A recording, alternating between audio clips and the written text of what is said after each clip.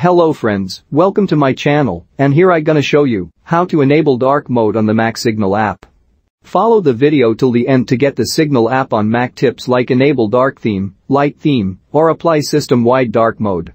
Just like other Mac apps, Signal Messenger on Mac also supports custom theme settings and system-wide dark mode. Let's check. Open Signal on Mac from the Launchpad.